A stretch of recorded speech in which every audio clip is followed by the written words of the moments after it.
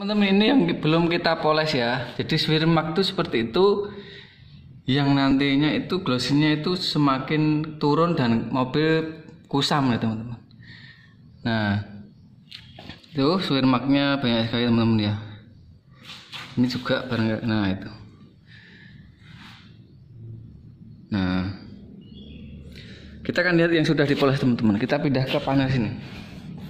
Nah, dia lebih tajam teman-teman. Dia lebih tajam dan swirmaknya itu sudah berkurang signifikan teman-teman.